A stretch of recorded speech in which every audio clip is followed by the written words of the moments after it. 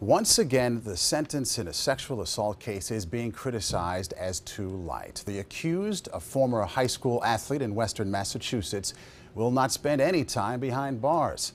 Michelle Miller is following the case. According to documents in the case, 18 year old David Becker assaulted two unconscious females at a friend's house party in April.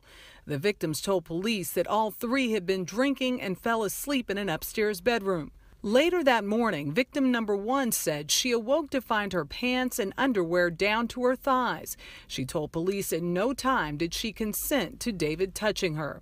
Victim number two told police that Becker assaulted her too that night. The next day, victim number one says Becker texted her, Just wanted you to know that I am really sorry. She replied to him, Don't even worry about it. It's all good. She told authorities that she didn't know what else to say. Becker was charged with two counts of rape and faced the possibility of two years in prison.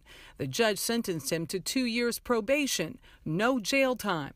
Becker's attorney defended the sentence, saying, We all made mistakes when we were 17, 18, 19 years old, and we shouldn't be branded for life with a felony offense and branded a sex offender. But the judge's decision has been widely criticized for being too lenient. Laurie Levenson is a professor at Loyola Law School. I think there's a strong outcry because there's a perception among the public that we're not taking these cases seriously enough, that we're not protecting the women. Carla Martin was classmates with Becker. This whole sentencing shows other people, other victims of sexual assault, that if they say something, no justice is going to happen.